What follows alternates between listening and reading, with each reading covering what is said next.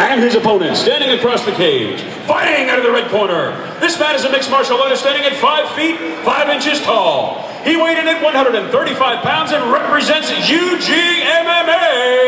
Here is Daniel Moore!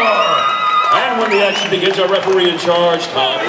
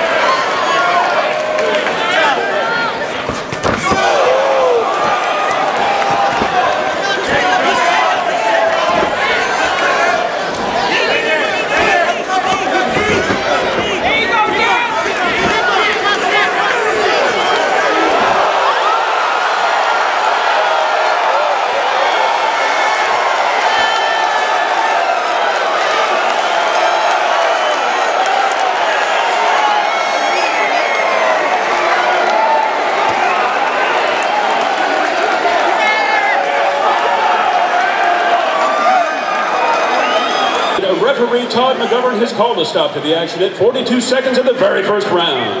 Declaring the winner by knockout, Marshall!